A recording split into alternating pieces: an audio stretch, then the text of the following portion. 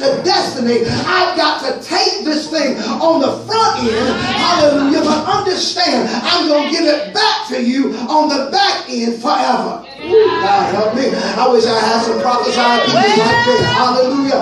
That what he took, hallelujah, in the beginning, he's going to give it back to me. Hallelujah. What he took from me for a little while, Yes. he's going to give it back to me forever. Yes. Hallelujah. Y'all don't know when to prophesy. Y'all don't know when to open up your mouth. Jesus. But now he's about to give me back the child forever.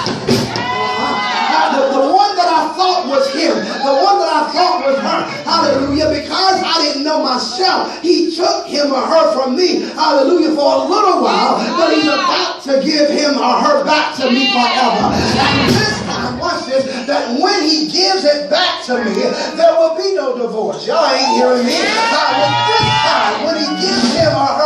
To me, we in it for the long haul. This time, when he gives it back to me, I am in it. I am going to decree and declare I'm all in. Hallelujah. He took it from you because there are still some uh, uh, circumstances in your life that would not allow you to be all in. Why? Because you didn't understand the power, hallelujah, of plurality. You, you thought getting together and connecting covenantly was still you being single. No, boo. It's not being single anymore. That when I move from I to us, hallelujah, uh, uh, from me to we, uh, help us now. It is now in that place that I understand that my destiny begins to shift. It is no longer about me anymore, but it's about us. It's about us now going up to a higher dimension, uh, moving into higher realms. Hallelujah. And so he took it from me.